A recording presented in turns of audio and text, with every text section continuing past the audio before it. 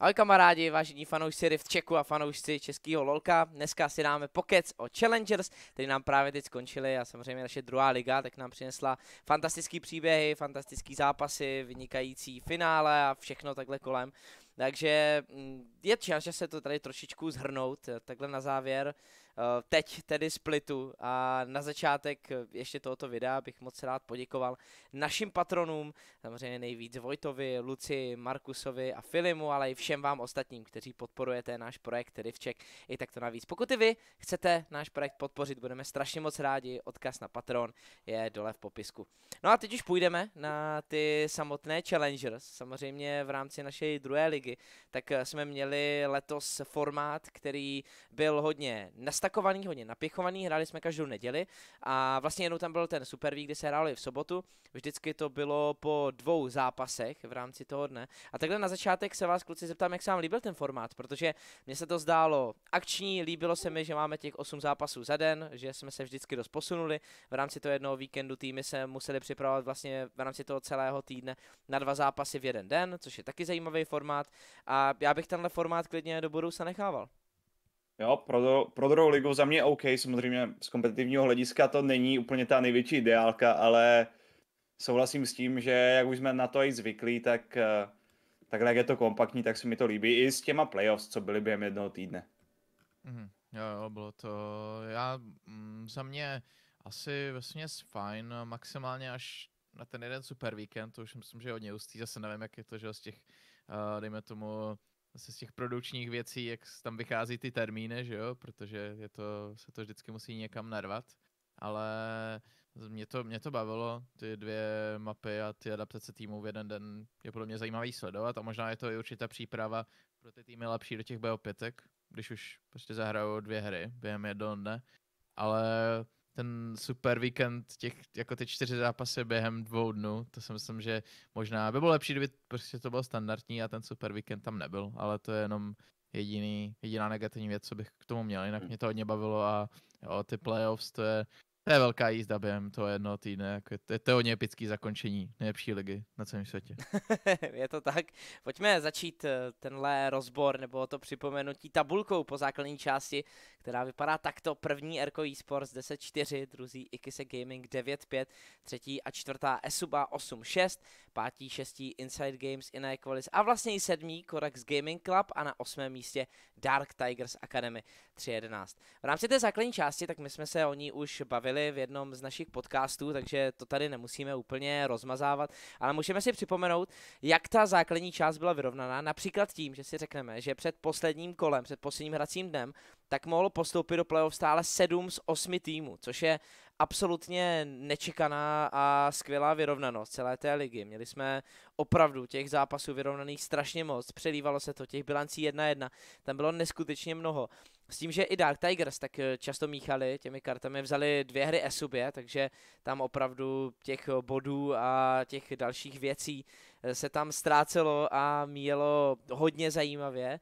Je na té základní části ještě něco, co si takhle vzpomínáte, co by vás osobně třeba nejvíc překvapilo nebo zaujalo? Protože kromě té vyrovnanosti, tak eh, asi nejvíc zaujaly vlastně ty konzistentní týmy, což byl hlavně i Kisek, který vlastně šel jenom jeden týden, 0-4, ale jinak všechny ty ostatní týdny, tak šli 2-0 nebo jednou jedinkrát 1-1, že to bylo vlastně na naši ligu druhou absolutně nečekaná vyrovnanost jejich, eh, jejich konzistence. A potom teda samozřejmě Erko eSports, kteří byli výborní. Jo, jako vlastně jo, ty lepší týmy takhle ke konci, co jsme viděli, že byli schopni uh, hrát konzistentněji než ostatní týmy, jakože nevím, jestli je to překvapení, Samozřejmě v druhé lize nikdy nevíš, co čekat, ale nakonec, že jo, Erko eSports, spoiler, vyhráli celou ligu a i základní část měli pod kontrolou. A to za mě bylo asi největší překvapení, že Erko to prošli takhle s dominancí celou, jak základní část, tak i playoffs.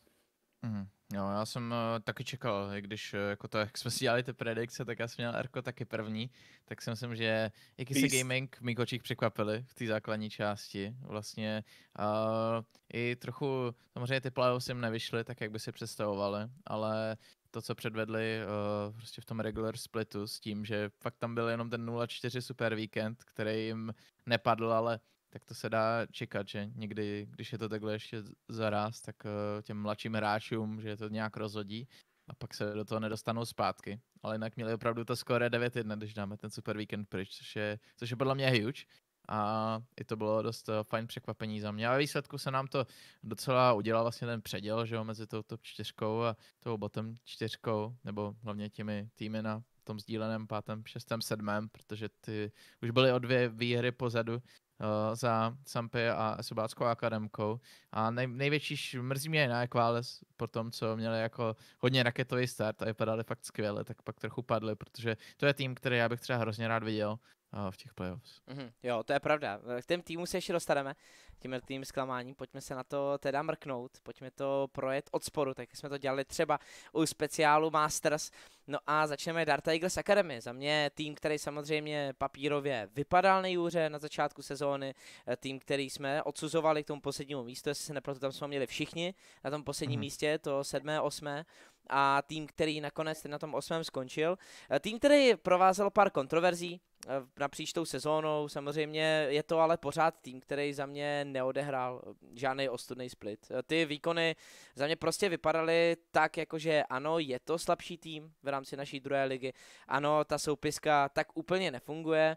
Je to jeden plochý game style, když prostě si chtěl vyhrát nebo měl šanci vyhrát, tak to byl Imi, který ti tu šanci vytvořil tím, že opravdu Imi hrál velmi dobře a většinou to byl právě on možná vlastně jenom on, eh, který eh, opravdu performoval na té úrovni druhé ligy, že bys mohl některé ty zápasy s ním vyhrávat, ale stačilo to jenom na tři vítězství, obě dvě proti Esubě, což je aspoň taková zajímavost, Esuba to možná podcenil ty zápasy, ale to je jedno, že jo, na to se nikdo už ptát nebude.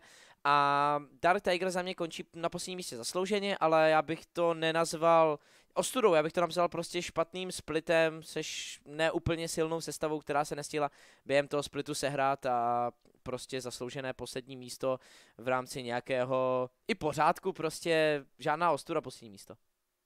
Jo, tady asi, asi než nic jiného, naopak ty tři výhry, co tam svítí, tak jsou pro Dart Tigers pěkný, byli schopni porazit 2-0 eh, Esubu 1-1, měli s Erkem, takže já bych to taky bral jako úspěch, co se týče téhle sestavy, protože nezapomeňme na to, že oni neměli za sebou žádný coaching stav, museli si to takhle vymýšlet sami. Bylo to hodně, hodně plochý ten gameplán, ale uvědomovali si svoji silné stránky, uvědomovali si, jaký mají šance a toho se chopili a souhlasím s tím, že i přesto, že jsme to všichni měli na tom posledním místě, tak minimálně já jsem čekal ještě horší výkon, takže já jsem spokojený. Mm-hmm. Jo, já si myslím, že to taky bylo decent a v rámci těch našich očekávání, co jsme měli, tak DTG nám aspoň něco předvedli, že jo, ta, ta 2-0 proti SUB, to bude, to bude fajn, ještě to víc uh, podporuje ty, když, uh, nebo hodně lidí se často pouští do SUB, se vždycky na myšlení a tak, že jo, tak tam byly nějaký ty BM bany, že jo, tak to je takové jako přiletej uh, prostě do toho ohně, tak z toho hlediska. Ale jo, jinak DTG byli, byli v klidu a uh, zkrátka asi splnili, uh, nebo možná je trochu třeba přečili uh, naše očekávání, protože dal se na to koukat, jako jo, bylo tam mhm. pár her, které byly úplně, i co se týká draftu, prostě questionable, ale pak uh, tam zase byly nějaké hry, kde hráči DTG fakt vytáhli skvělý výkony, nějaký vyrovnaný z těch proher, uh, by se jich tam našlo uh, poměrně dost. Takže já si myslím, že DTG, že ti hráči asi jako udělali s tím, do čeho, do čeho vešli a s tím, co vlastně mohli udělat, tak asi udělali jako maximum. Mm-hmm, jo, souhlasím. Korax Gaming Club, tak za mě největší zklamání by far celé druhé ligy, protože já jsem na těch, těch našich predikcích tak eh, měl Korax na prvním místě po základní části. Ta sestava vypadala fakt zajímavě, čekal jsem, že to bude vypadat opravdu dobře v rámci jejich zkušeností, možná nějaký motivace, třeba ještě nějaký ty body vybojovat a zkusit se dostat do naší nejvyšší ligy, protože tam jsou hráči, kteří mají za prvé pro ligové zkušenosti, za druhý určitě i ambice na ty první ligy a to mě hodně nepříjemně překvapilo a velmi nepříjemně mi vlastně překvapil ten přístup a celkově to chování hráčů týmu Korax Gaming Club, protože tam bylo absolutně nejvíc postihů za jejich uh, disciplinární provinění za to, že yes. tam lívovali hry, za to, že už vstupovali do, vlastně do té ligy uh, s tím trestem na Staníkovi, uh, za to, že často tam byly nějaký delaye a herně to bylo tak zvláštní. Jako Staník občas vypadal, že prostě tu hru absolutně odmítá vyhrávat, že nekomunikuje se svým týmem, že hraje solo queue, stejně tak ta součinnost botlinky nefungovala. Uh, Cybonox tak ten často vytahoval něco ze své kvality, to bylo vidět, že Cybonox na to pořád má, ale jinak extrémně zvláštní výkony, nekonzistence, vlastně už jsme tím začali, my jsme začali prohrou Koraxu proti Inside Games Challengers, kdy Korax doslova zahodili tu vyhranou hru a tak to prostě pokračovalo, celý ten split. Velmi zvláštní, obrovský zklamání určitě a Korax jde do relegations. Hmm. Jo a nakonec i přesto, že to skore, že jo, mají stejný jako Iné a jako Inside Games, tak zaslouženě, I guess, za všechno, za všechny ty problémy, co tam, co tam s nimi nastaly. A já nevím, neměl jsem až takový očekávání od Korax, ale souhlasím s tím, že zklamání to je, že to bylo playable mnohem víc, ale, ale herně to nevypadalo. A ať už ty problémy v tom týmu byly jakýkoliv, jestli si to nesedlo, ti hráči, jestli a, se hráči zhoršili, já nevím, ale minimálně ten herní projev, kromě toho, že byl hrozně zvláštní, což, což byl, a jsou tam, jsou tam ty momenty, kdy hrál Staník, že jo, Korkyho, čekal na package v bázi, mezi tím jeho tým prohrál fight a potom mm. tam naportil s packagem, tak uh, tyhle momenty prostě zabránili Koraxu se dostat do té top 4 a jako na relegations by mohli mít, ale nemyslím si, že by bylo úplně borf zachraňovat tuhle sestavu. A tohle je ta klasika, kdy se zamýšlíš nad tím, proč jako se hráči chovají tak, jak se chovají, zvlášť hráči, co by mohli mít ambice a mohli by být dobří. Hmm. Jo, a já to podpořím tím, že Korax jako jak uh, týmově to vůbec nesedělo a nešla vidět zatím nějaká jako hlubší myšlenka a bylo to hrozně rozlítaný. Já jsem po každém tom hracím kole, co jsem komentoval, já jsem snad komentoval každý týden, kromě toho prvního týdne, tak já jsem vůbec nevěděl, co si o Korax myslet, protože oni třeba jednu hru předvedli něco jako docela dobrýho a už si říkal, že se do toho dostali a pak zase druhou hru to úplně ztratili, takže brutálně inkon- nekonzistentní výkony od uh, Koraxu, který vlastně se nikam pořádně neposouvali. A nejenom teda to, že se jako tým nesehráli, když jsou to jako hráči, co ty zkušenosti mají, tak i ty individuality, že jo. Tohle je pořád sestava, která je, když teda týmové jim to nesedne a těžko říct, jaká byla přesně jakoby myšlenka za postavením eh, toho rostru a jak eh, do toho šli, nebo s jakým nasazením do toho šli hráči, co ti hráči o to očekávali, jestli to bylo spíš takový jako uvolněnější, nebo to bylo úplně jako 100%, jdeme to tady zničit a vyhrát, ale jde vidět, že asi pak eh, ten, ten progres tam zkrátka nešel vidět mm-hmm. u Koraxu, což si myslím, že uh, to na tom, na tom hodně padly a právě to mohli urát aspoň na ty individuality, kdy, i když jasný, týmově si třeba nesedneš, ale aspoň by si to ti hráči, jako jsou Vapode, jako jsou Cybonox, Zeusák, Staník, uh, prostě i pak Curse, co nastoupil, ti hráči byste jako měli být schopni uklikat, ale ani to nepřišlo od těchto jako zkušených borců a bylo to, jo, bylo to zarážející, jak to celý proběhlo. A abych se, nebyl bych asi brutálně překvapený, kdyby třeba jim ulíty jako playoffs těsně, ale že by to bylo, že by to aspoň vypadalo nadějně i ten split, ale Korax mě opravdu s těmi mm, jako výkony nahoru dolů té naděje moc nedával. Šlo vidět takhle zvenku, že tam prostě něco fakt hodně nefunguje. Hmm, a taky se to teda nakonec projevilo právě na tom, že budou muset bojovat o záchranu místa ve druhé lize. Teď uh, pojďme na Inequalis. Rokirky zoufalého se nakonec nekonal, nakonec uh, Inequalis s Inspirem nepostoupili do playoffs, ale uh, ta sestava stále ukázala určitou kvalitu, prostě ta soutěž byla vyrovnaná, někdo na to doplatil víc, někdo míň. U Inae bych řekl, že nejvíc nakonec dopláceli na ty drafty v posledních fázích ligy, kdy Inae si to za mě dělali strašně často zbytečně těžký. Já moc nechápu některé myšlenky, co zatím byly, proč prostě třeba si pouštěl ty lehký scalující kompy, proč si vymýšlel nějaký early game tlaky, něco prostě eh, z té nové mety, co si úplně neuměl, protože přece jenom ti hráči, co tam jsou, tak jsou docela, řekl bych jako old school hráči v uvozovkách někteří, kteří prostě umí fakt si zahrát na těch svých čempionech, ale eh, ta adaptace tam není úplně silnou stránkou.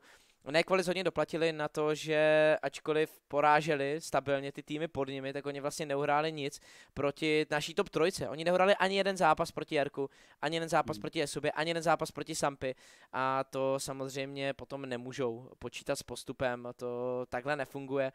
Takže jo, Inequalis taky je za mě zklamání, ale zas na druhou stranu je to tým, kterýho já jsem čekal, že to třeba právě nějak jako těsněji nepůjde do toho playoff a vlastně to bylo ten jeden zápas, jestli se nepletu, tam by ještě hráli uh, nějaký ten tiebreaker, oni ještě měli do posledního meče vlastně šanci o tiebreaker bojovat. Hmm. Mm-hmm. Je to za mě teda tým, který podobně asi jako, jako Korax, tak uh, neprošel žádnou, uh, žádným dobrým vývojem. Naopak mně přišlo, že se zhoršovali, zhoršovali a ztráceli tu půdu pod nohama, jak se ostatní týmy dostávali víc do formy a taky ta identita mě opravdu přišla, že tam nebyla úplně přečtená.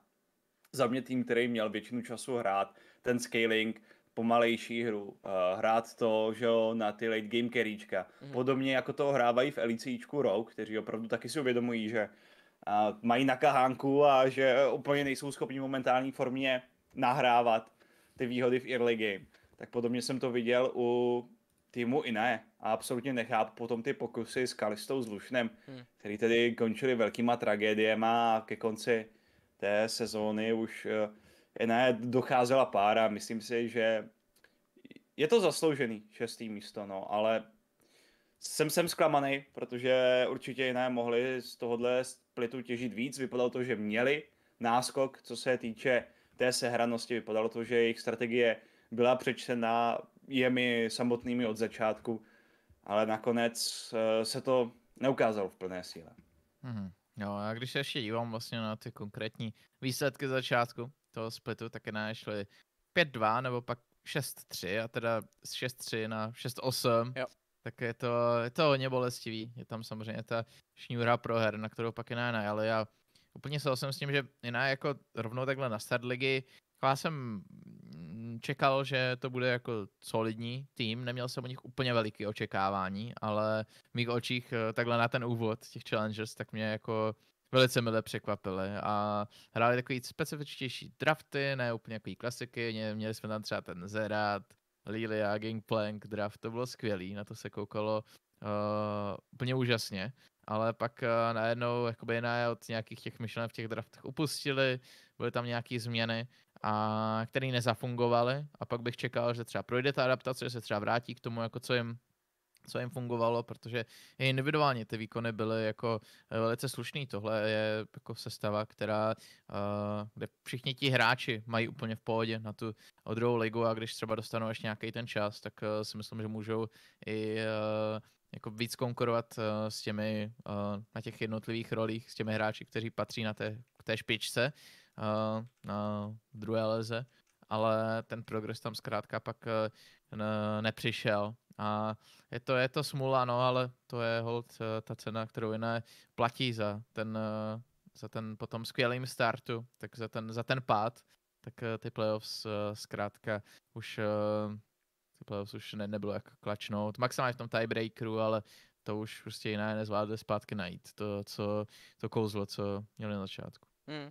Inside Games Challengers, tak to je tým, který dělal to, co Inside Games Challengers v těch posledních splitech dělávají, to znamená, začneš zajímavě, pak máš velký flop po začátku toho splitu, potom zahájíš svůj comeback run, svůj miracle run, ale ten se ti nepovede. To je hmm. to, co Inside Games Challengers udělali vlastně dvakrát za sebou, takhle to vypadalo úplně stejně. A hele, ten začátek jako nebyl špatný, že jo, byly tam nějaké překvapení pro nás, byly tam ty výhry třeba nad Koraxem, bylo tam dokonce od eh, Inside Games eh, nějaký eh, zaskočení z těch top týmů vlastně, i jestli se nepletu, já jsem tady, dělejte, jestli to bylo Erko, nebo jestli to byly Ikisek, Ikisek. ale jo, byly to Ikisek, jo, přesně tak, z to zaskočení, takže to bylo fajn. Ale potom zase ztráta páry a zase to, že Inside Games mají prostě bandu fakt hodně talentovaných kluků, hodně mladých kluků, kteří to lolkou umí hrát samozřejmě, ale Eh, je to tým, který eh, třeba střídá ty sestavy, museli, protože oni museli posílit eh, například i svoj, svůj A tým, to znamená, že oni potřebovali do toho prostě sáhnout. Pak to bylo taky rozhozený, na midu se střídal Toume s Dolisem, kdy tam nebylo třeba chvilku úplně jasný, kdo bude jednička, potom tu roli jedničky převzal Dolis, ty výkony od jednotlivých hráčů. Pak byly občas zvláštní, třeba Shea za mě neukázal to, co měl ukázat, tu kvalitu, nic si z té první ligy zas tak jako nepřenesl. Na topu Niko ty zkušenosti získával, ale s Přibylem tak netvořili vůbec silnou topside. Jsou to kluci, kteří ještě potřebují ty zkušenosti, potřebují ještě se vyhrát, protože takhle to prostě zatím nevypadá vůbec dobře. A pak ke konci zase tam byl náběh na ten Miracle Run, že jo, byly tam nějaký čtyři výhry po sobě a Inside Games Challengers šli do toho posledního dne s šancí na postup, kdy vlastně oni měli ale los Erko a Ikisek, a ne, Erko a, a, a, oni tam měli Erko a potom tam měli, jo, my máme tady první, oni měli Erko, jo, a Ikisek, měli Erko a Ikisek, dobrý, akorát hráli po sobě. Takže měli Erko a Ikisek, a že jo, to je los, který prostě tam byl velmi těžký ke zvládnutí, navíc eh, tam v té době i Kisek i Erko, tak si potřebovali zajistit to první místo, nebo ne první místo, ale playoff, ale bojovali o to první místo, že jo, bojovali o hmm. ten dobrý seeding, takže tam už to tryhardili a Inside Game Challengers to zase nedotáhli. Je to tým, který je to prostě dobrá akademka, dobrá farma na hráče, 100%, to Inside Games vždycky uměli, ale není to tým, který by kdykoliv měl identitu, která by prostě za mě se mohla dostat nebo by patřila do playoff. Je to, je to prostě dobrá farma a velmi, velmi dobrá akademka. Jo, v tomhle, v tomhle smyslu a ohledu možná, kdyby uh, tam přišlo to zaměření se na tu akademku trošku víc a ten tým se snažili dávat trošku víc, eh, nebo ta organizace trošku víc prostor. Možná tam byl Angle, protože zase je to tým, který měl špatný začátek a musel to potom dohánět, ale některé výkony byly dobrý. Hele, jako, já jsem spokojený s tím, že Inside Games tady asi měli dvě mise, že jo. Zůstat v té druhé lize a vyprodukovat druhý, vyprodukovat hráče do první ligy, kdyby bylo potřeba, což se vlastně povedlo. Byli tam poslání, že jo, někteří, takže abych vlastně byl spokojený s takhle s tím pátým místem, se skore 6-8, myslím si, že to není žádná tragédie, jo, možná ten tým měl maličko navíc, ale, ale těžko říct. Zase já nejsem fanoušek eh, té polské dvojce, přibyl Šea, tam mě už druhým splitem úplně neoslovila. Hmm. Myslím si jistý, jestli tohle ta cesta těmi importy, protože jo, nestačí to na top 4, nestačí hmm. to na nějaký lepší výsledky ani yes. v té první lize. A to mně přijde u těch importů extra důležitý, protože ty by měly mít přece jenom na sebe trošku, nechci říct víc tlaku než uh, čeští hráči, ale obecně by importi že jo, měli být trošku možná víc než takhle uh, ty češťo, československý zástupci. Ale 6-8 za mě z té spodní půlky asi ten nejvíc sympatický tým a nejvíc na to očekávání tým. Hmm.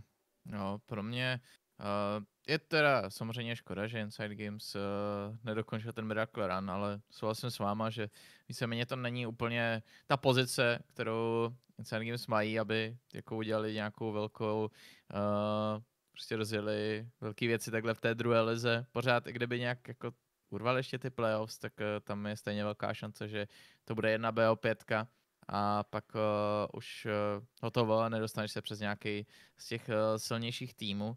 Ale takhle, když to porovnám třeba s Inae, tak u Inside Games Challengers mě tak moc jako nemrzí takhle zpětně ten split, protože ta sestava ani nepřijde třeba, nebo Inae mě přijde třeba víc stacked, od Inside Games Challengers jsem neměl až tak velký očekávání.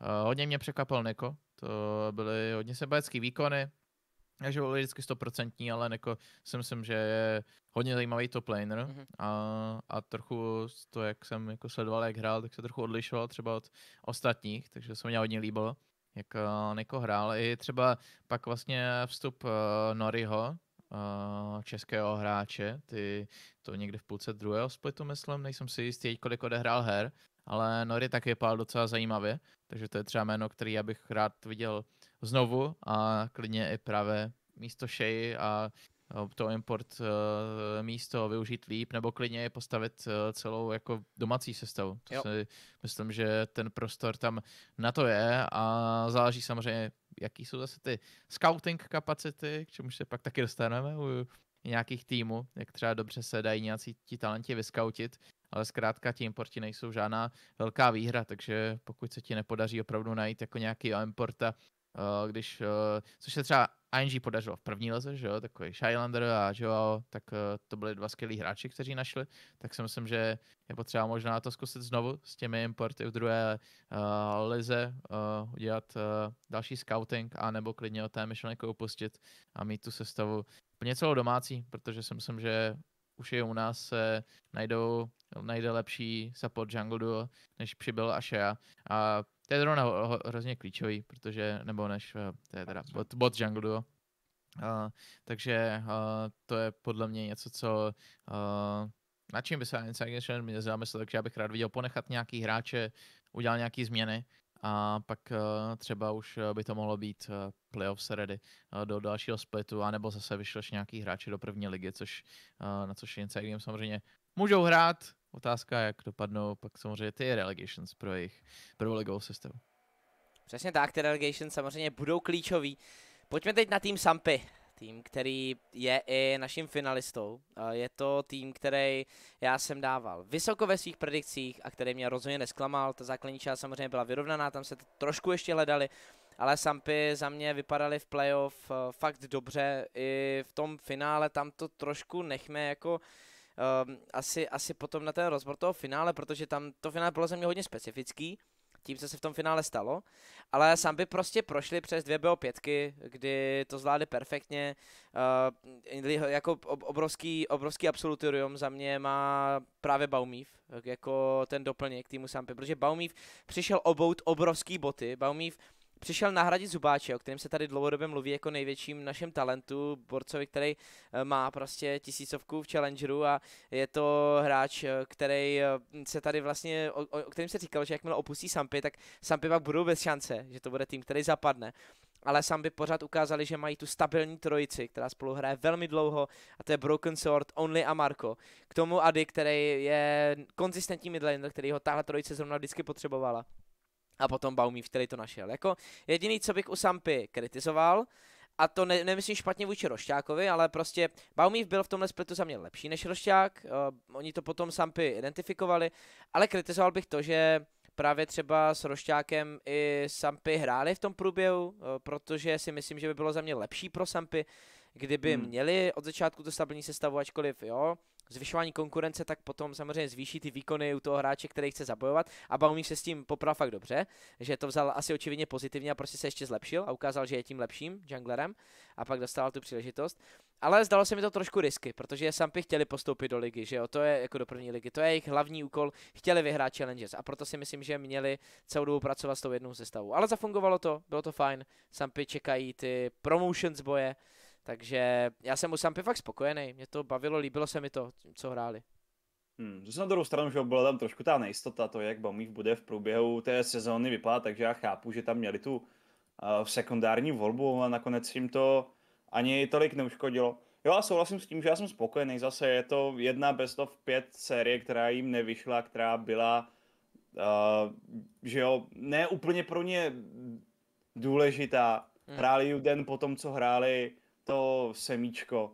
Bylo to takový na sebe trošku nanáhňaný a stačí, stačí underperformovat jeden den a takhle o to přijde, to se stává, ale jinak přes celou tu sezónu jediný ten druhý moment, kdy byl trošku krizový, byl ten začátek, pokud se nepletu, jo. kde byly jedna, tři, jo. ty první dva týdny, které se úplně nepovedly, ale potom už to, potom už to bylo v pohodě, potom už začali vyhrávat většinu svých zápasů, dostali se do té vrchní půlky s pohodlným skorem 8-6 a v těch playoffs, minimálně v tom prvním zápase jako a tom druhém zápase taky vypadali hodně dobře. Hodně dobře vypadali, že jsou, jsou najetí botlinka. Ony Marko vypadala možná jako nejlepší botlinka v lize.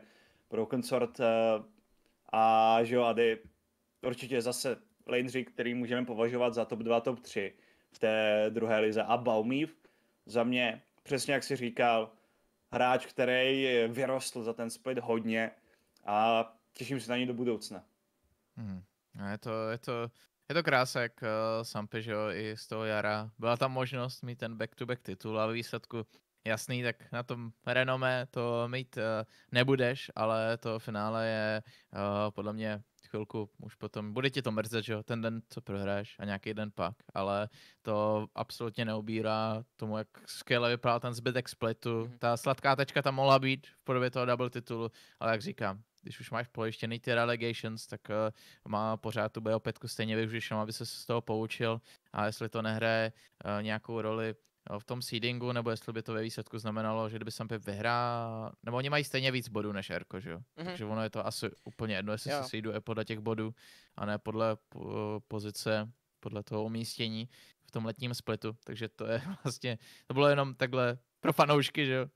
finále eh, druhé ligy.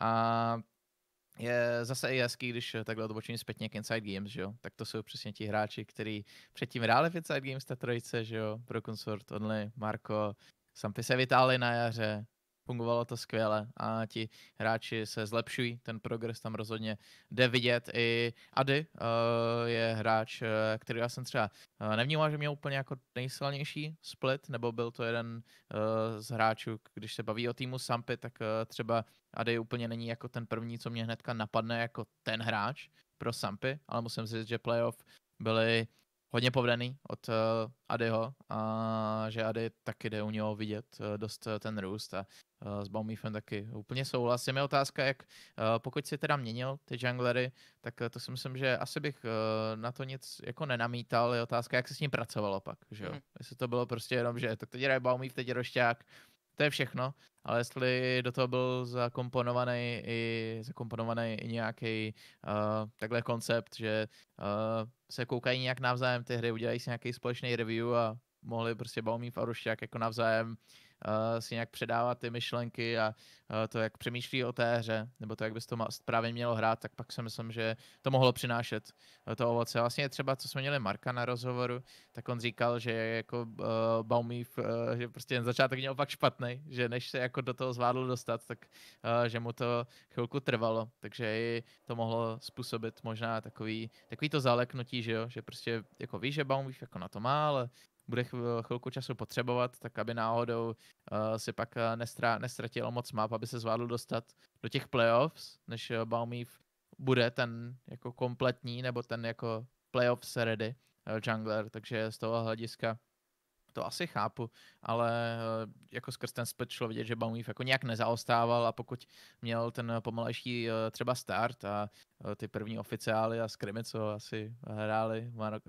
Sampy s Baumífem, tak tam to ještě nebylo ready, tak na venek se to až tak moc jako nepirojil. Jo, ten start byl pomalejší a to jsme mohli čekat, ale ten improve je tam úplně jasný a to je klasicky taková vizitka těch talentovaných hráčů, že když oni prostě dostanou tu šanci, tak uh, může to vypadat začátku shaky, ale pak to prostě, pak se najdou v tom a to si myslím, že byl přesně příklad Baumifa, takže za mě skvělý split, od Sampy to finále tomu neobírá, protože jak i on třeba psal na Twitteru, já jsem to tak pojmenoval taky, když jsme eh, s Davkou komentovali tu absolutně neskutečnou sérii jinak, tak pojmenoval to taky choke, takže já to taky vidím, že to byl prostě choke. Hmm. To byl chokenutý finále a absolutně to nic eh, v tom velkém obrázku eh, neznamená. Sampy jsou stále zatraceně skvělý tým, který si jde pro první ligu.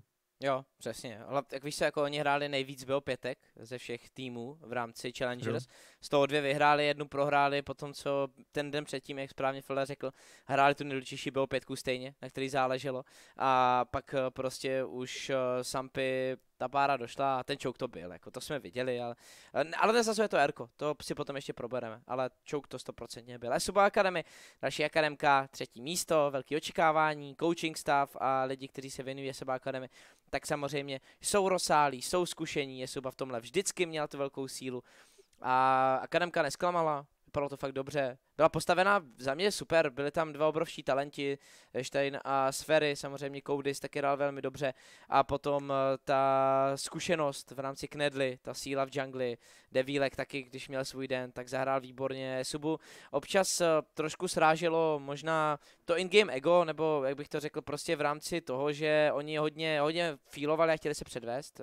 Je to taková součást Suby, ale já to třeba hodnotím možná na rozdíl od něký, jako samozřejmě teďka nebudeme hodnotit chování občas, jako v určitých momentech, ale v rámci té hry, já to občas hodnotím trošku pozitivněji než třeba někteří, buď vy jako mý kolegové, nebo někteří lidi, protože ta druhá liga přece jenom je za mě hodně o tom se fakt jako předvést, dostat tu šanci na stage, dostat tu šanci prostě ve hrách a vyloženě tam něco předvést, aby si děli zapamatovali. A třeba občas to jako brutálně nevíde, tak je to hrozný, je to prostě nakonec strašný chouk a vypadáš za blbečka, na druhou stranu já to hodnotím pozitivně, že to ti hráči zkusí. Já jsem na to hodně dojížděla v té základní části, když ty hry prohrávala. Když jim to ale povedlo, tak vypadali fakt na jetě. Jako vypadali fakt hustě. Když prostě Stein měl svoji hru, když Devílex měl, měl svoji hru, když eh, prostě jim to šlapalo, tak to bylo drsný. A oceňuji asi nejvíc Esuby Sveryho. Mně se nejvíc líbil eh, výkon tohoto eh, talenta na supportovi, který za mě má podle mě velkou budoucnost, pokud na sebe bude dál pracovat. Hrozně mi to bavilo. Hrozně inteligentně hraje, dokáže číst tu hru. líbí se mi, že se taky nebál těch playů, když byly potřeba a já bych asi Sverimu tady dal to MVP splitu, nebo spíš jako moji da, Davkounyho volbu, takhle. Uh, protože, protože prostě uh, u ESU by mě bavil asi nejvíc on, ale jako za mě dobrý split pro ESUB Academy. ESUB Academy, prostě akademka ESUB tam je o toho, aby se ukázali talenti, aby si měl ten tým v druhé lize, aby uhráli playoff, aby ukázali tu sílu a jo, mohli bojovat i o jako úplně jasný relegations. Možná tam budou, uvidíme, jak se ti rozhodnou, k tomu se dostaneme později. Oni možná doslova budou v relegations, jo, to je jako důležitý zmínit. Hmm. A hlavně třetí místo po základní části takhle vyrovnaného splitu a potom jedna prohraná BO5, ale se Sampy, kteří byli na etí, jakože já jsem zase spokojený u Suby. Mě to bavilo a možná, když se fixnou trošku, trošku vystupování a trošku jako schopnost třeba snášet nějakou kritiku a vést dialog, tak z těch kluků budou fakt dobří hráči a fajn lidi, I guess. Jo, tak to teda už hodně zabíháš a záleží. To si nedokážu takhle troufnout říct, ale souhlasím za prvé sféry, ze sféry. Ten eh, za mě má ty nejvíc kladný bodíky z tohohle splitu z celé akademky. Jinak to byl teda jeden ze splitů Challengers pro Esuba Academy ever. Já, já nevím, jako tohle je podle mě přesně ta linka, kterou si nastavili, kterou měli podle očekávání kterou byli schopni dorovnat a nic víc, nic míň. Jako zase v porovnání s tím, když jsi mluvil o tom in-game egu, tak porovnání za mě s tou hladovostí, který předvedli jiný týmy, to teda bylo trošku slabší a, a nebylo to dostatečné, jako jak si říkal, Sampy byli rozjetí, ale to částečně, protože chtěli, že, že tryhardili a díval se na to líp než na subáky a myslím si, že ten potenciál tam pořád byl větší. Myslím si, že kdyby tam byla, a tak já nevím, jestli je lepší příprava, že jo, to se těžko říká, ale kdyby tam bylo trošku víc srdíčka, tak uh, možná to do, mohlo dopadnout jinak. Protože opravdu ti hráči jsou kvalitní, když se podíváme na základní část, že jo, tak oni prohráli 0-2 proti DTG, to jsem komentoval milionkrát, že jo, tyhle prohry vůbec nemuseli přijít, že to byly chyby, potom prohráli jednou s Koraxem, jednou s Erkem a jednou potom dvakrát proti Ikiseku, ale měli 2-0 proti Sampy v té základní části. Jo. Takže to byl soupeř, který ho mohli porážet. Samozřejmě jo, byla to základní část, musí se to brát trochu s rezervou, ale i tak to 1-3 proti Sampy beru maličko jako zklamání, protože jsem čekal, že to bude plných pět her a že to bude vyrovnaná série. Že to bude série, ve které subáci klidně mohli vyhrát, když už ale to se úplně nepovedlo. Jako ta jedna hra, co, pro, co získali, je taková zase trošku whatever. Hmm, jo, v mých očích Esuba se hodně silný start. Uh, líbil se mně, tam bylo několik těch korky her, kdy Esuba měla ty pomalé hry, jenom jako scalovala, hra, hrála se to své a vypadalo to docela kolikrát i učebnicový makro. A to se mi dost líbilo. Pak mě přišlo, že Esuba možná trochu ztratila identitu. Já upřímně říkal jsem to, i když uh, vlastně během uh, komentování té subácké uh, série, tak já mám prostě vždycky, uh, nebo jak Devílek má ty svoje dny, jak říkal Davka, že když má svůj den, tak dokáže být fakt dobrý, tak já to hrozně často vnímám tak, že když Devílek hraje Control Mage, tak je skvělý, mm-hmm. že hraje něco, co je playmaking, tak prostě se Devílek urve a bývá tam až moc chyb. Takže to je třeba pro mě jako ty dva světy, že Devílek na Azerovi, yes, yes, to chci vidět, nebo na tom Korkem, který teda pak byl už nerfnutý. že to byl trochu nerv pro Esubu, ale Devílek prostě na té RLC nebo na tom Silesovi, jako já vím, že Devílek se to umí uklikat, ale jo, ti šampioni forsují do těch pozic, ve kterých on úplně jako být nechce a myslím si, že Devílek eh, dokáže, má jako šance na to být skvělý hráč, jenom ještě mu tam jako chybí to, chybí to dotáhnout a dopilovat.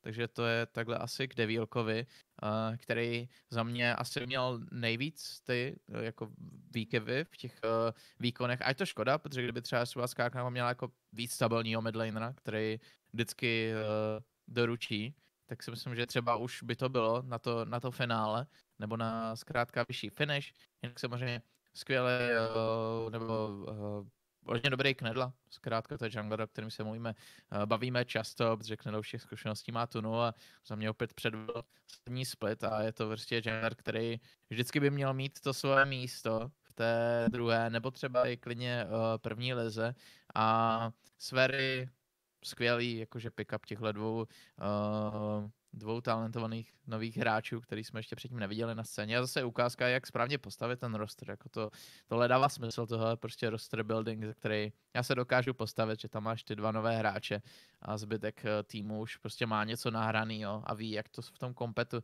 zhruba funguje. Takže z toho ti hráči můžou i čerpat a co jsme mohli slyšet, tak prostě Steina Svery eh, čerpají ty zkušenosti a ty vědomosti od těch zkušených borců, co měli kolem sebe. Takže já eh, jste zmiňovali Sveru, ale já zmíním i Steina, protože eh, jo, i když měl nějaký ty pofidérní hry, tak uh, pro mě to bylo zase jenom jako takový výkyv, taková, takový jako černý puntík, jinak Stein mě taky hodně oslovil, jakožto top laner.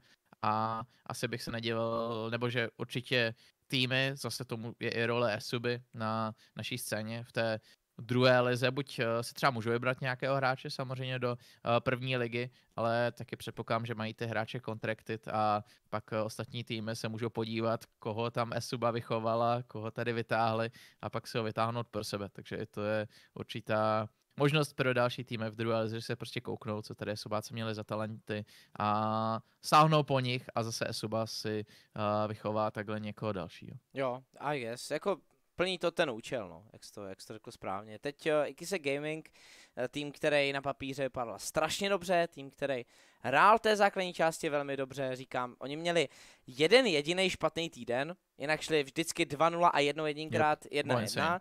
Ten špatný týden 0-4 tak byl teda hodně špatný, to jo, to vypadalo příšerně, ale možná tam byly nějaký důvody, že jo, to tak prostě je v tom kompetitivním rolku, že ti to nesedne, v challenge se blbý, že jeden týden znamená čtyři hry, že jo, když to byl ten super týden. To prostě byla smůla, Jinak eh, by třeba klidně i se koukali i na první místo po základní části, takhle skončili druzí po základní části.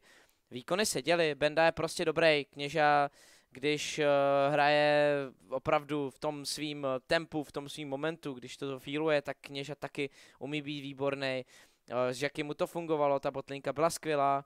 Uh, samozřejmě Jungly Zubáč, tak uh, tam je trošku zklamání, asi to možná ještě dostanu, abych nejdřív zmínil Naryho, protože Nary ten měl jako za mě příšerný split. Nary byl prostě v týmu Ikisek uh, takovým doplňkem, který za mě ten tým prostě moc nepodržel a, a byly tam ty velký questionable chyby, jako takový základní chyby uh, u Naryho, uh, kdy to fakt jako sleduješ a moc nerozumíš, co se děje. Vys uh, jeho jako jedna v jedničky, kdy on prostě měl několikrát pressure nebo Uh, Sejuani samozřejmě, zase to tady můžem připomenout, anebo uh, prostě i jako to, jak zbytečně občas tu linku ztrácel, uh, jeho celkový gameplay prostě byl takový zvláštní a to byl podle hlavní problém Ikiseku, ten druhý problém byl ten, že Zubáč za mě úplně nenaplnil očekávání, možná Zubáč zbytečně pak nervózní v playoff, tam se to možná projevilo. Ikisek totiž měli zase dobrou základní část těch jedničkách, ty jedničky jim vyhovovaly, bylo se cítí dobře, možná v komfortu, pak ale z nějakého důvodu za mě nepochopitelného jeli na playoff bootcampovat na oba do hry. neznámý, na obě hry, ano, do neznámého prostředí, protože oni vždycky hmm. bootcampovali v Olomouci, kde, co jsem tak jako slyšel, nějaký zákulisní informace, tam se jako s majitelem nějak už neshodli, že jo, takže tam už nemohli potom uh, jako bootcampovat dál.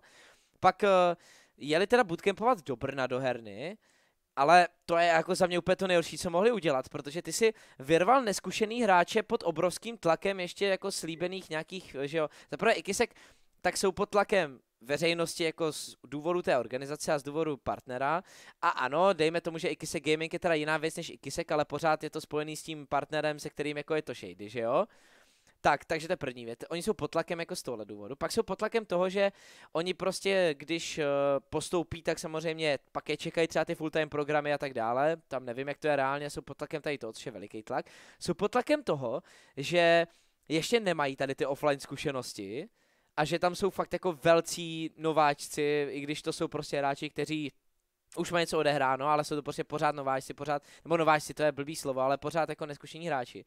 A ty odjedeš bootcampovat prostě na, na dva nejdůležitější zápasy v roku, kdy ještě se tam prej přijelo podívat i vedení na ty zápasy, takže ti tam ještě stojí, že jo, ten, co, ten, co tě jako platí za tvýma zádama.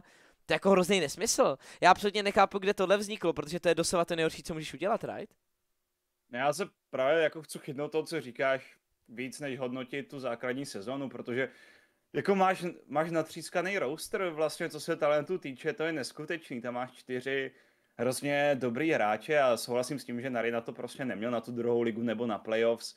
K tomu asi už se dál potom dostávat nebudu, ale v rámci tohohle já, mně to přijde hrozně mismanagenutý, celý ten tým a zaprvé známe tu hernu, ve které se to hrálo. Za mě to není úplně prostor, který by byl srovnatelný s těmi gaming housey, který třeba že mají jiný týmy a kde se jako dá počilovat a je to aspoň trošku přátelský za mě opravdu to zaprvé nebyla správně vybraná lokace, za mě i ten nápad byl jako fakt hrozně špatný. Zvlášť když ty znáš svoje hráče, ty bys měl vědět, co ty máš v týmu za lidi a měl bys na základě tohle odhadnout, že to je špatný nápad. Co je hrozně zajímavý, tak eh, podle toho, co jsem slyšel od lidí zevnitř, tak i když jsou s tímhle splitem spokojení a chtějí dále developovat v druhé lize, ale jakoby já bych s tímhle zpětem nebyl spokojený, zvlášť když si takhle vybombil v těch playoffs 0-3, že jo, proti Sampy a rozhodně si mohl předvést mnohem víc. Zase měl si obrovský talent a hrozně, hrozně si ho nevyužil.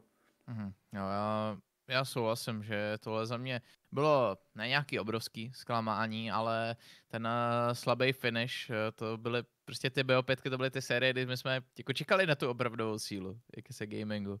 A když ještě vezmeme v potaz, jak uh, vlastně ve výsledku dominantně Erko uh, zvítězilo v tom finále, tak uh, jak se v tom Winners Bracketu s nima hráli pět her, jako to bylo huge, jaký se Gaming mm-hmm. očividně byl tým, který uh, mohl úplně jako pohodě, kdyby nebýt tady těchto faktorů, který jim to hrozně stížil, jak jsi říkal, s tím prostě bootcampem, s tím neznámým prostředím a to věci dál, tak eh, kdybych tohle dal pryč, tak se Gaming jsou tým, který eh, jehož power level by v těch playoffs měl být uh, velice blízko Sampy i Erku, nebo možná i vy, vyšší než Sampy a u RK tam bychom třeba měli šanci na další uh, vyrovnané uh, finále. Těžko říct, jak by ta BO5 vypadala znovu, ale za mě je to taky Velká škoda, připojím se k tomu, že uh, Nary byl hrozně zmatený několik těch her a když dostal carry pozici, taky nedokázal naplnit. Když dostal pozici na weak side, tak ji nedokázal začně zahrát, takže za mě zase jeden z těchto planerů, který mě opravdu nepřesvědčil, takže a nevnímal jsem tam právě nějaký velký růst pro uh, Naryho. Těžko zase říct, z jakých důvodů, to bych do toho musel jet hlouběji, ale asi upřímně bych eh, zauvažoval jako na změně na to plane, protože podle mě Nary uh, mě nedal moc jakoby důvodu uh, živit tu naději, že je nějaký velký talent a že do toho vyroste, třeba jako mě dal Stein, když to porovnám s tím to planerem, takže toť, toť k Narymu a jo, ty playoffs tam zapracovali právě ty, tyhle faktory, které byly nepříjemné a je to teda škoda, že si to takhle jako špatně vymysleli a, a nenaplánovali, a jinak uh, ve výsledku teda byl základní část za mě pře- hodně příjemný překvapení, bylo to lepší, než jsem čekal. Myslel jsem si, že Kise Gaming s tou mladší sestavou se budou pořád sehrávat a budou rádi, když jakože klačnou playoffs nějak a prostě začnou v tom z bracketu, ale finish jednu hru za RKM s tou sestavou, jenom je ten špatný super víkend, to byl skvělý, mm-hmm. ale pak uh, obrovská exploze v playoffs, ne úplně v té první BO5, ale pak eh, ten, eh, ta další BO5, co následovala, tak to byla hrozná škoda, protože to byl úplně uh, jiný kisek, než jsme mohli vidět uh, v tom duelu uh, proti Erku. Ten jsem já chtěl vidět znovu, ale nedostal jsem ho. A šlo vidět, že, se, že asi kluci se trochu jako mentálně rozložili. A i taky z toho, co jsem jako tak slyšel, tak že právě ta stránka jako té psychické pohody, to tam docela chyběla a že se nepodařilo s tímhle úplně uh, dobře pracovat, což samozřejmě se dá očekávat do určité míry od uh, těch hráčů, protože ti pořád nemají ještě svoje nahráno a uh, není to samozřejmě snadný se v tom jakože udržet prostě ten, ten nejlepší mindset, co jenom můžeš, ale to je něco, co se, se Gaming zkrátka nepodařilo a něco, nad čím se oni musí zamyslet do dalšího splitu, jak eh, teda zajistit, aby to všechno bylo ready a všechno to šlapalo z té mentální pohody hráčů a ve výsledku tedy super, nebo super základní část a zklamání v playoffs. Hmm. Já, já si myslím, souhlasím s tím mismanagementem, že s touhle sestavou si měl jako druhou ligu vyhrát, kdyby si udělal správný rozhodnutí, ale, ale ty rozhodnutí byly teda jako hodně, hodně katastrofální hmm. na konci roku. Ale jako Ikisek, jestli bude pokračovat dál, tak uh, uvidíme, uh, s jakým, s jakým stylem, s jakou filozofií. Teď pojďme na vítěze druhé ligy, pojďme na RKE Sports, tým, který napsal absolutně krásný příběh, který my jsme zmiňovali už na streamu finále, tým, který do toho vstoupil na jaře, byl rovnou v playoff, hrál velmi účinný lolko, teď hrál zase velmi zábavný lolko, absolutně neskutečný scouting, neskuteční hráči a importi do druhé ligy, tým zábavný na sledování, tým, který do tohoto srdíčku dával na 100%, eh, krásný příběh napsali Vlaren, Phoenix, hlavně Phoenix, jako já jsem se u toho rozplýval už na streamu, ale já jsem dneska vlastně před eh, tímhle, jak jsme hledali s Tomem nějakou grafiku jako na ten díl, že jo, já jsem dal Hitpoint Challengers do Google a vyskočila na mě z jara 2021 BO5 Challengers eh, Universe, eh, týmu Universe proti uh, Eklotu, nebo co to tam bylo. Já myslím, že to je prostě jedno, ale jako, jako vyskočil ten tým Universe a viděl jsem, jak tam Phoenix prohrává hnedka to první kolo playoff 1-3 a hrozně mě zaujala cesta tohle supporta, který jako předváděl neskutečný výkony celou sezónu a pak je ve finále. Ta, ta organizace jako celá, tak je za mě definice to, jak by se to mělo dělat u nás. To znamená mít vášeň, chtít to dělat, najít si schopní lidi, dát jim prostor, nechat je na tom dělat, supervizovat to, věřit těm lidem, když to nefunguje, vyměnit je a jak jsme vlastně viděli teďka u nějakých těch přešlapů, co se děli třeba u RK tuhle sezónu, když to funguje, tak jim dávat ten prostor víc, prožívat to s tím týmem a celkově Erko prostě napsali opravdu nádhernou kapitolu druhé ligy a je celý lolka a jestli postoupí do první ligy, to bude úplně jako neuvěřitelný příběh, eh, neuvěřitelný hřebíček. A za to sezónu tak eh, Vlaren vyrostl v junglera, který teďka bude hodně žavým zbožím na domácí scéně. Uvidíme, jestli se podaří tu první ligu vybojovat, jinak Vlaren podle mě míří do první ligy, anebo do jiné IRL. Potom eh, se nám podařilo tady teda ukázat, že ti importi pořád ještě jsou a jsou kvalitní a dokáží se dovést do i naší druhé ligy, což je veliká paráda a Fénix taky vyrostl. Já, je, to, je to nádhera, jako mě Erko strašně zaujali a to, že zvládli tu nervy drásející série proti Ikiseku, kdy prohrávali 1-2, že jo, zvládli to otočit do páté hry. A pak to finále, který oni otočili hru, kdy to Sampy fakt jako čoukovali v té první hře s tou obrovskou výhodou a potom je dvakrát za sebou stompli to byla velká jízda. Takže. Jarko hmm. e-sports klobouk dolů. Jo, souhlasím. Tam samozřejmě ta první série byla hodně na hraně a nebyla úplně pohlídaná, z toho asi úplně spokojení nebyli, ale až na to, tak to měli víceméně celý pod kontrolou a jak si říkal, jako tenhle, tenhle tým a tahle organizace byla, byla parádní a za mě to bylo překvapení, protože já se přiznám, já jsem to nečekal, že to vyjde až takhle. Jo. Já jsem si myslel, že ten tým bude OK, že ti importi asi udělají nějak svoji práci, ale že to nebude nějak epický. Upřímně ani Fenixovi s Vlarenem jsem tolik nevěřil, ale jak říkáš, oba to našli. Ten scouting eh, těch importů byl perfektní. Blyce, Captain Sexy byli absolutně insane a top 2 ve své roli, tady už byl úplně v pohodě. Mm-hmm. A je, je to, je to 100% jak si říkal, jako je to organizace, která to tedy dělá srdíčkem a na základě toho jim to vychází, udělali svoje maximum a zaslouženě teda půjdou do té relegace i díky práci uh, z jara, kdy taky pracovali s českou sestavou, ale nevypadalo to vůbec špatně na to, že to třeba byli oldschooleři nebo ne úplně pro nás tak uh, známí hráči, takže i tam jsem byl v rámci možností spokojený, když se tam dohromady, tak perfektní výkon, upřímně bych jim to přál do té první ligy, ale to vlastně i Inside Games a Sampy, takže je to hodně těžký, ale jo, já prostě jsem spokojený, jsem hrozně spokojený nad, nad míru. Mm. Jo, i tady celkově u RK jsem taky šlo to vidět v tom komentování, že jsem byl nadšený z toho příběhu, co tady Jarko napsali za ten jeden rok a je to, je to fakt paráda, že taková organizace vstoupila takovouhle motivací a zkrátka uspět a ještě si to je splnili teďka tím vítězstvím v druhé lize a můžou i táhnout teďka do té první ligy v těch promotion zápasech. A jo, celý roster, tohle bylo pět uh, neskutečně dobrých hráčů, kteří si za mě každý z těch výkonů, co předvedli, jsou hráči, kteří patří do toho DRL. Tohle už nejsou akademy hráči, ti jsou slušně insane, ať už ta uh, import ta trojice, tady už a Captain Sexy měli úplně neskutečný to finále. Hlavně teda yes. tady už se ještě víc projevil, uh, kterýho jsem třeba vnímal předtím jako dobrýho midlanera, ale v tom finále mě jako ještě v prvé v tom utvrdil a za druhé mě ještě ukázal, že umí ještě, ještě víc a ještě přinést uh, něco takhle dalšího pro svůj tým. Fenix, tak jako je to bard hráč, tak to já zbožňuju, tak to nemůžu říct nic jiného, ale Fenix tam poslali toho barda v finále, takže koukal se na to skvěle a uh, výborný support. Uh, Vlaren asi hráč, který za krátký období uh, vyrostl úplně nejvíc, protože já, co si pamatuju, Valerena uh, předtím z týmu on samozřejmě byl nějak figurovat v té DTG sestavě a předtím ještě když se koukám, on vlastně, on hrál i s Fenixem ano. vlastně za Universe, takže to Vladen mě většinou moc úplně právě nepřesvědčoval a neviděl jsem v něm jako ten potenciál takhle zvenší, ale Vladen jasně ukázal začet loket a že je to nejlepší jungler momentálně v druhé lize. A je to jungler, který úplně v pohodě by strčil do kapsy nějaké prostě lower junglery, co se týká první ligy.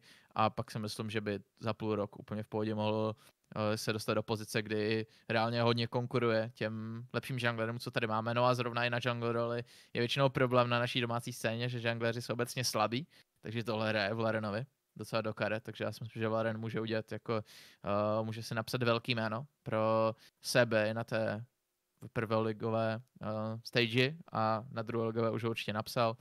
A pochvala znovu i pro ten coaching staff, protože tam je hrozně moc samozřejmě lidí, co takhle v pozadí RK, když uh, já samozřejmě znám některý kluky víc, některý méně, ale uh, na League mají přímo napsaný o Shockwaveu, Riot Dopu a Meta a tam jde hrozně moc vidět, i když máme jako nějaký info takhle zevnitř, tak prostě navenek a jak to takhle na člověka působí, tak víš, že prostě tihle borci odvádí zatraceně dobrou práci a že je to velká a dost důležitá část toho úspěchu té sestavy, ti lidi, co prostě stojí za tím. A to je něco, co třeba kolikrát těm týmům v té druhé lize může chybět, že, že, ta, že ten management, že ta podpůrná struktura není dostačující.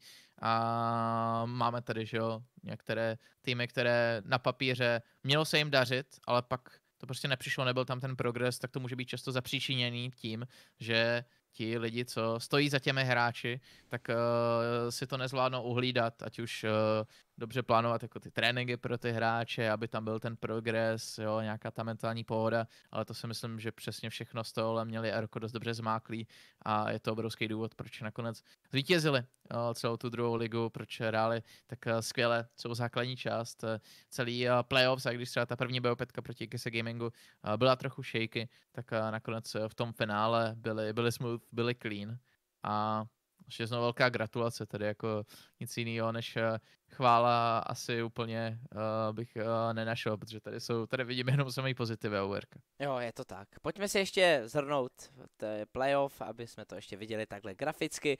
Z toho winners bracketu do finále postoupilo Erko, porazil Ikisek 3-2.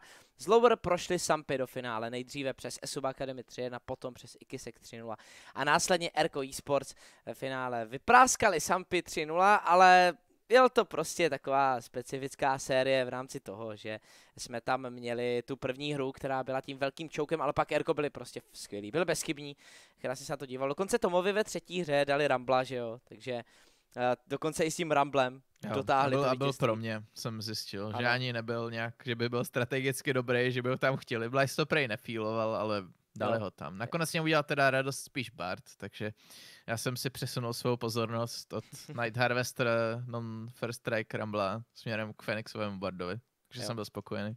Jakoby uh, já si myslím, že v rámci toho, že to jako nefungovalo nebo bylo pro tebe, tak uh, že, že jako, já jsem totiž od Vladena slyšel, že jako bylo to pro tebe stoprocentně, ale slyšel jsem od Vladena, že i ve skrimech oni to spali, kam se to jako vejde, že to zkoušeli, takže aspoň to bylo připravený, aspoň to bylo, aspoň to bylo nachystaný.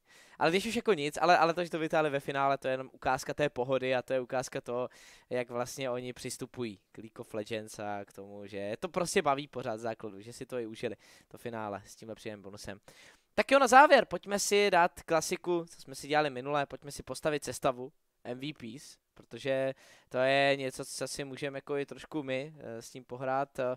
A Fildo, nesmí to být kompletní Erko, jak jsi předvedl v Hitpoint Master speciálu s kompletním DNA, jo, jenom jako, jenom, jenom varuju, jo, ať toho zase neuděláš jako kompletní sestavu. Tak eh, Proč ne? jako může, dobře, já Jak, tě, kde je problém? Ale... já, já, tě, já tě nebudu cenzurovat, jenom, jenom říkám jako jo, že, že abys nebyl zase podezřelej. Já začnu, Eh, začnu na topu a na topu říkám Broken Sworda. Blaze. Já říkám Broken Sword. Hm, dobrá, tak tady zatím, já s tím aspoň jako vedeme, pomyslně. Eh, Potom do jungle, já dám, já dám Baumífa, jako Vladen byl lepší v rámci kompletně, ale Baumív eh, musel obout boty leváka Boba a absolutně to fitnul. Jak, a- jako Bůh to znamená- fitnul. Jo, už to chápu, Jo. sorry. tak já, Je jdu ráno, je ráno. Jo. Já jdu pro Vlarena, díky, že mi to takhle připravuješ tím, že ty jdeš pro Sampy, že jo. Káru, Káru pro Vladen. OK. Uh, tak tom se mixnul, já mám zatím čistý sampy, že jo. Uh, v rámci midu, tak uh, já půjdu honorable mention, já, já, já jdu pro ty tobráče, jako jsou to subjektivní tobráči, jenom řekneme, jako, že to není, že tobráči, jako co zahráli top, že to bychom jako asi postavili celý to Erko, no možná trošku s mixem sampy, ale já na midu půjdu pro Imiho, eh, za to, co předváděl, za to, jak se prezentoval na sociálních sítích, jak s náma komunikoval a jak eh, bojoval o to, aby Dark Tigers Academy vypadaly alespoň nějak, aby si zahráli. Eh, Chtěl to hrát, eh, hrál dobře, eh, několikrát eh, se mu podařilo i přehrát ty top inlaner druhé ligy, takže já si tam dám Imiho. No Takhle natvrdo, jo. No jasně, tak jako je tohle, tohle není jako MVP volba, že jo, tohle prostě je naše subjektivní Tohle- honorable mention volba. Já můžu dát Jirku Zoufalýho teda. No jasně, Ale ne, mě vypadl mikrof, ne mikrofon, Ne. ale... žiješ, je to pohodě. Tome, povídej, prosím tě. Eh, Já bych tam dal, ne zase jako, ne je to, jak jste říkali předtím, kdybych měl říct MVP, tak řeknu všechny hráče RK. Nejspíš možná by se tam našel prostor, proto mě je jedno z nich, ale teďka půjdu pro, jako říkám, hrozně rád bych šel pro Tadeuše, protože byl insane, ale mě už se tam pak ti hráči RK budou dál stakovat, takže uh, tady se ještě udělám prostor a dám tam Adyho taky za ten růst a za to, jaký playoffs výkony předvedl, když minus finále, ale tak to by se dalo říct pro všechny hráče Sampy. Mhm, to je fakt. Uh, tady jsem hodně mezi Captainem Sexym a Kněžou, ale furt půjdu pro Kněžu. Neřekl mid lane. Jo, uh, Jsem ironický, já samozřejmě nejsem troll jako ty. ty jsi neřekl midlane? Je, Inspire si to nezaslouží, co si budem, jako... Já myslím, že tam necháš. Ne, nenechám, nechám tam Adyho. Budu souhlasit, OK. budu souhlasit s Tomem, je to, je to nejspíš on, mně se taky líbí ten růst, protože on vlastně v rámci toho, jak přišel do téhle sestavy, tak není to tak dávno, že jo. Začínal jako Katarina One Trick a od té doby se stal hodně solidním midlanerem, takže si to zaslouží. Jako- To, je jako, to je podle mě to je jako životní absolutně otočka, že jo. To je když prostě někdo z nějakého úplně, eh, když bych tu přirovnal, uh, něko, někdo jde prostě na nějakou odvykačku a tak, otočí celý svůj život na ruby, tak to je podle mě to Adis, Katarina Maina na kompletního midlanera, co hraje normální čampy. Je Hmm. to tak. Já bych byl rád za tu Katarinu občas teda někdy ještě. no. Ale Já tak taky. třeba se jí dočkáme ještě někdy, no. Ady, Ady psal, že když budou 2-0 ve finále, tak to tam možná pošle, ale Hmm. to víme je, všichni, jak je. dopadlo. Škoda, no. Tak eh, možná, až budou 2-0 ve finále Relegations, že jo. Tak uh, třeba na tam přijde Katarína. Jako dostat se do Uh. první ligy s Katarínou, to by byl absolut, absolutně epický Wow. svek. No, tak já jdu teda pokračovat Marksmanem, Kněža za mě, tam má to místo, absolutní carry performance, absolutně parádní výkony. Pak se to trošku ztratilo, že jo. v těch playoff se svým týmem, ale i tam jako občas to měl. Ale Captain Sexy jako je těžká konkurence, já jenom půjdu, protože že prostě pořád věřím v to, že kněža jako může někam směřovat a že by v tom správném týmu se správným nastavením tak byl absolutní beast. Jo, Davkony zase hlavně směřuje úplně jasně k té cuketové medaili, takže to je dobrá jistota, kterou tady dostáváme. Ale tak víš co, vy, vy, vy tady chcete dát jako býv za pravidla hry, který jsem si vytvořil já a to jsou doslova, dáváme si naše absolutně subjektivní prostě srdíčkový feelings, že jo? Jako je to tak, ale pořád... Uh, no tak jo, vole, no, tak dobře. Přiřadíme ano, jo? Ano, však už ji mám, tak to, prostě drž hubu a pokračuj.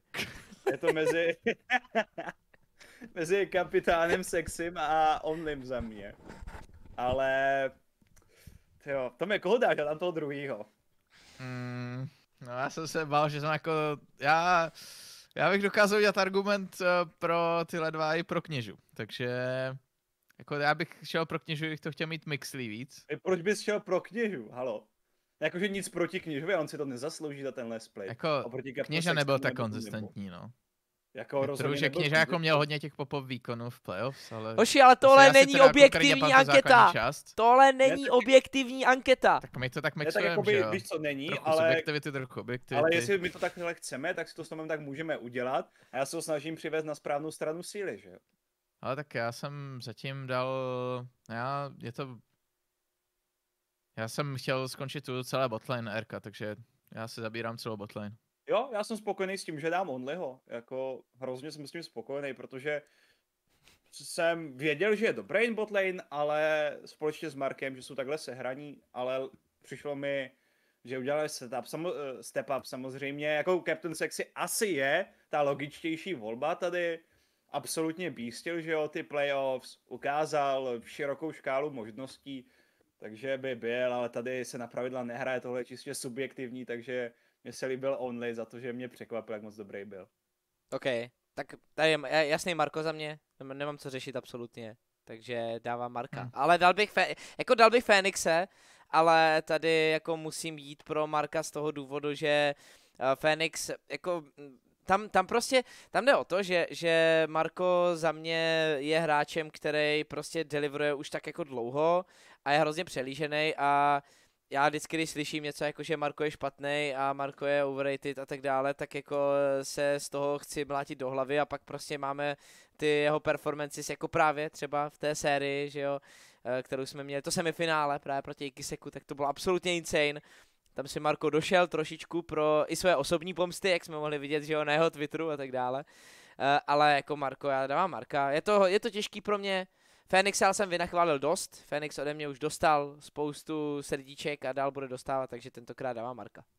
Hmm, jo, souhlasím s tím chválením Marka a Fénixe zase za mě to byla asi jasná top dvojka tady Challengers, takže já půjdu zase svojí subjektivní cestou, najdu si tam nějakou jinou cestičku a dám tohle MVP supportově Esubi, dám to Sverimu, protože přišel do takhle prvního splitu a byl dobrý, jakože, jak jsme říkali, dost možná ten nejzářivější hráč Esubi a myslím si, že si zaslouží takhle shoutout, takže zase tady volím eh, cestu podobně jako když jsme hlasovali o, o MVP, že o Point eh, hlavní ligy, tak tady i když Svery nebyl lepší než Phoenix, nebyl lepší než uh, Marko, tak si myslím, že vzhledem k tomu, že každý jste si je takhle rozdělili, takže si to zaslouží. Jo, já zůstanu, jak říkám, to je kompletní botlane RK. Uh, já jsem vlastně skončil jungle a botlane RK a solo 3 Sampy, takže já jsem si to takhle, takhle rozdělil mezi těma finálovými týmama.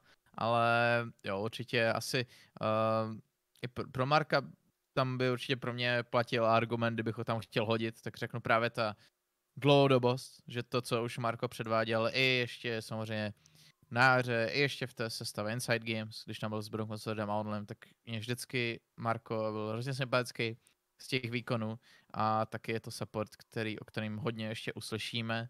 Phoenix ten eh, byl spíš až eh, v tomhle splitu se za mě jako pořádně předvedl a že se hodně, hodně zapsal takhle do mé paměti jako prostě špičkový support bez pochyby ze druhé ligy.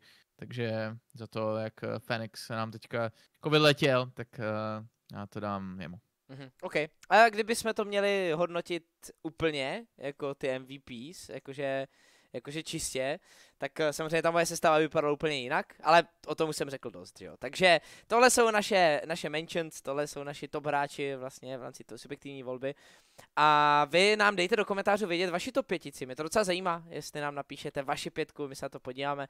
Třeba no, se najde někdo, komu předá medaily za nejhorší názory, nebo za třetí místo v názorech, ale myslím si, že tady jako samozřejmě podle těch... Nezbavíš. Podle, ne, tak nezbavím, protože taky je to um, třetí místo univerzitní ligy v malém fotbale má stát neústřice, že jo, takže to bych vám nikdy v životě nikomu nedal.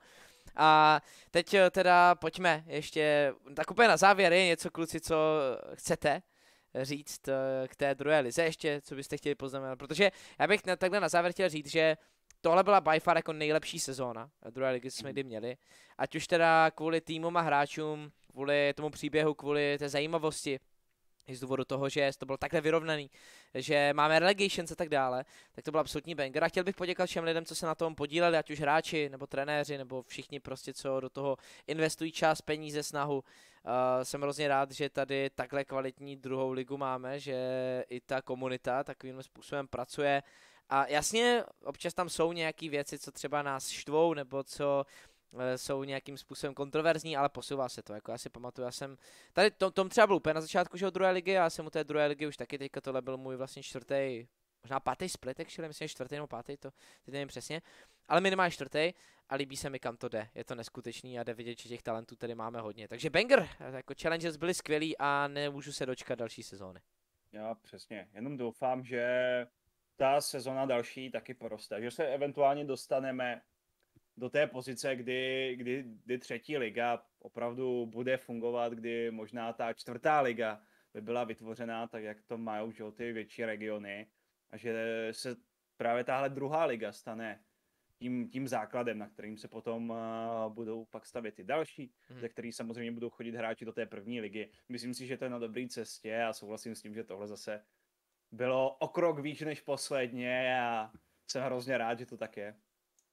No já taky. Zase radost jenom z tohle splitu, určitě nejvíc tak split, co jsme tady měli, je i fajn v rámci toho souboje o tu první ligu, že tady máme týmy, který o to usilují, že o ty uh, že o vstupy Kiseku, Sampeziara, Erko taky uh, tenhle rok, že vlastně tyhle nové organizace, které do toho chtěli šlápnout, chtěli se předvíst, tak uh, urvali si tu takhle top trojku v té základní části a mohli jsme sledovat playoffs, takže to je, je taková nová éra do určité míry nastartovaná v té druhé leze, protože když jsme tady ještě začínali druhou ligu, tak to začínalo, tam to bylo prostě Viking Creek, Esuba, to byly ty, ty dva týmy, který jsme mohli výdat neustále, Viking Creek tedy, to by mi ukápla teď slzička, to je smutné, že už tohle jméno tady bohužel úplně nemůžeme mít. A na druhé, a SUA to samozřejmě pořád jako válí v druhé lize dobře, ale já bych hrozně chtěl ocenit ten vstup těch uh, nových men, uh, které do toho šly ve velkým a už si připisují nějaký ty úspěchy a taky díky všem hráčům, všem, co se na tom podíleli a máme velkou radost toho, že to takhle můžeme komentovat. Pátá sezona už naší druhé ligy. Takže na tom hitpointu už ta druhá liga vlastně za tu, za tu dobu si myslím, že to jako přináší ty ovoce. A kolik těch hráčů jsme hlavně vytáhli, že jo, třeba do první ligy z té druhé. To je to skvělý a nakopává to ve výsledku tu první ligu. A tenhle split ještě přímo, ne, nebude to jenom o tom vytahování hráčů, ale bude to i o, to, o těch relegations a to si myslím, že je ještě větší takový thriller v rámci té naší domácí scény. True. Good luck v relegations. Samozřejmě držíme tam palce všem týmům. Už jsme se shodli na tom, že by nám bylo hodně líto, pokud by nás upustili Inside Games, ale prostě hmm. někdo z toho kola bude muset jít ven, anebo někdo nebude moct postoupit. Uvidíme. A díky moc vám všem, kteří jste dokoukali tenhle speciál o Hitpoint Challengers. Co vás čeká tenhle týden ještě jako pozvánka, tak samozřejmě díl podcastu ve čtvrtek a ještě bychom rádi vydali ten další díl Worlds Season 3 dokumentu, takže ten pravděpodobně taky. A fun fact na závěr, Challengers jsou liga, o kterou se v rámci komentování s klukama pereme by far nejvíc, jenom kdybyste chtěli vědět, jo, protože my tam jako občas chodíme i ve čtyřech, že jo, občas si to dělíme na půlky, že Challengers jako fakt chceme komentovat vždycky úplně nejvíc. Takže to je takový fun fact, jenom abyste věděli, že my nekecáme blbosti o tom, jak máme rádi Challengers a jak jako je to nejlepší liga světa a tak dále, ale je to liga, o kterou se fakt jako rveme a museli jsme to rozdělit tentokrát, takže tam třeba fakt chodíme, to jste si vlastně všimli, že tam chodíme ve čtyřech na ty vysílací dny, protože Challengers jsou prostě banger. Tak jo, mějte se tím krásně a budeme se těšit příště.